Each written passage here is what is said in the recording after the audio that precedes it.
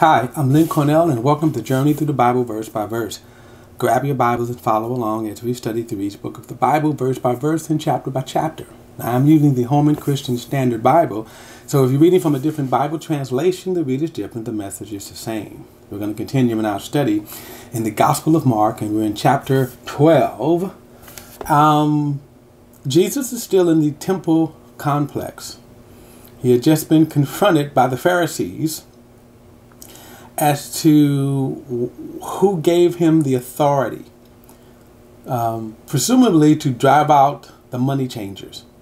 So, in other words, this is still the setting here. So, verse 1 Then he began to speak to them in parables. And remember, a parable is a, a, a story to illustrate truth.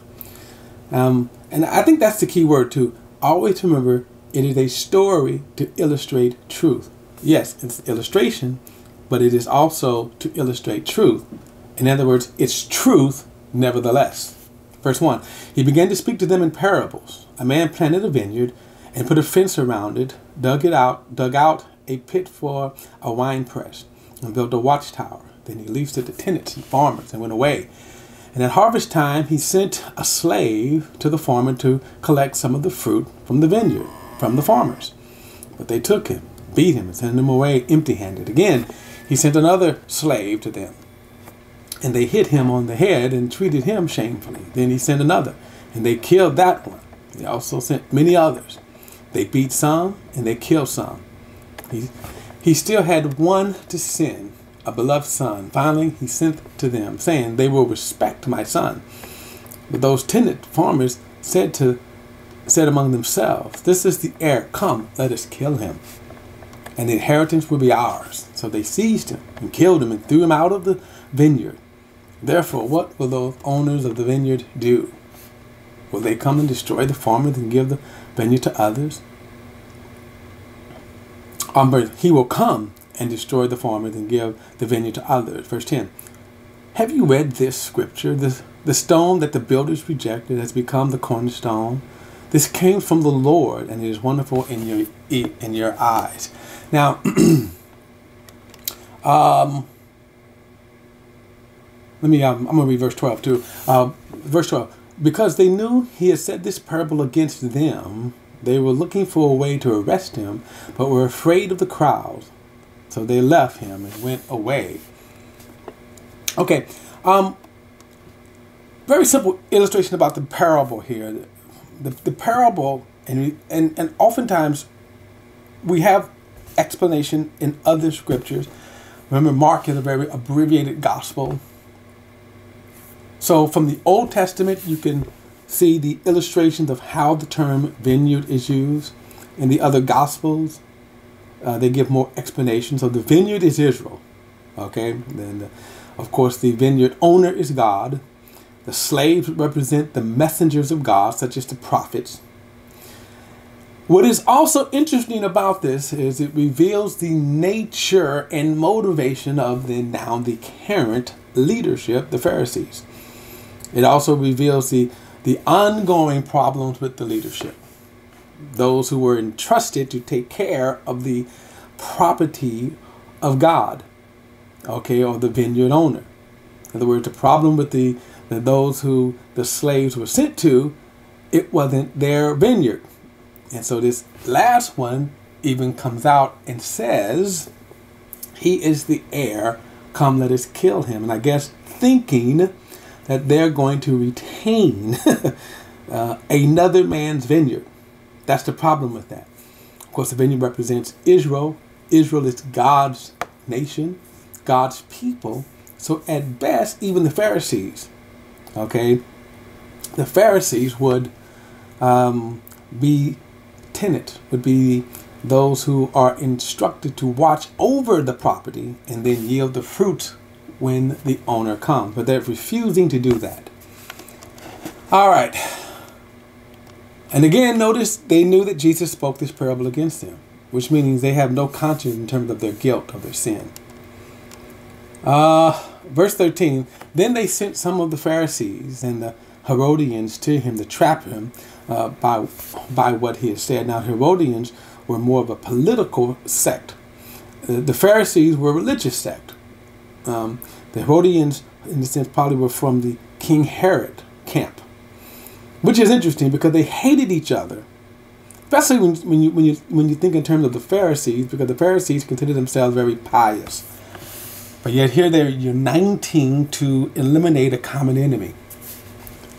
Verse 14, when they came, they said to him, Teacher, we know that you are truthful and defer to no one, flattery, of course, for you don't show partiality, but teach truth, truthfully, the way of God. Now, you know it's, it's, you know this is flattery, just cunning lies, because if what they just said is true, then why aren't you believing it? Why aren't you submitting to it? Is it lawful to pay taxes to Caesar or not? Should we pay or should we not pay? Now, again, they were trying to trap him. See, in other words, either answer. If he, if, if he had said yes, they would have charged him with blasphemy. If he had said no, they would have charged him as an enemy against uh, Rome. He says, But knowing their hypocrisy, he said to them, Why are you testing me? Bring me a denarius to look at. So they brought one. Whose image and inscription is this? He asked them. Caesar, they said. Then Jesus told them, Give back to Caesar the things that are Caesar's, and to God the things that are God. And they were amazed at him. Now I kind of picture in my mind. I'm gonna. I, want, I, I would want to be dramatic about this. If I had the coin, just toss it at him. Give to Caesar what Caesar's, and with God what's God. All right. Verse 18. Some Sadducees who say there is no resurrection came to him and questioned him. Now the Sadducees were were the larger part of the Sanhedrin. You had the you had the um, the Pharisees and the Sanhedrin, and you had some couple other groups that are that, that made up this ruling body. The, the, the, Sadducees were probably the larger part. The Pharisees were the more influential part. But notice they would be what we would say today are the progressive party. But notice this: although they believed in the law of Moses, however, notice they didn't believe in the resurrection. They didn't believe in um in a supernatural part. So that's why this what Marcus, you know, the, the writers say this in preference of, then why are they coming with this argument? So verse 19, teacher Moses wrote for us that a man's brother, if a man's brothers die, leave his wife behind, and leave no child, his brother should take the wife and produce offspring for his brother. Now, this was the Old Testament practice. Even really before the law, they practiced this. The, the idea was to keep up the brother's seed so his name wouldn't die out. Okay? Verse 20 There were seven brothers. The first took a wife, and dying left no offspring. The second also took her and died, leaving no offspring. And the third likewise. So uh, seven left no offspring. Last of all, the woman died too. In the resurrection, whose uh, uh, when they rise, whose wife will she be, since the seven had married her? And Jesus told them Are you not deceived because you don't know the scriptures nor the power of God? For when they rise from the dead, they neither marry nor are given in marriage, but are like the angels in heaven. Now, concerning the, the dead being raised, haven't you ever read in the book of Moses and the passage about the burning bush? How God spoke to him? I am the God of Abraham, the, the God of Isaac, and the God of Jacob. He is not the God of the dead, but the God of the living. You are badly deceived. Now, uh, now, uh, this is flawless, flawless. Um, I think flawless apologetics on Jesus' part. They were so foolish to think that they could craft an argument in which they themselves, of course, don't even ascribe to, they don't believe in. And that yet Jesus again tells them how absurd their position is. That he's not the God of the dead, but the God of the living. Now, what what this sort of means here, consciousness, existence is forever for every person.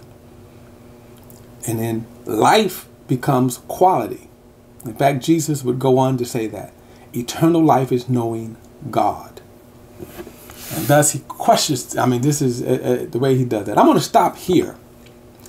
And I'm going to pick it up in verse 28 and finish out the chapter because it, it goes into another question that I'm going to get into.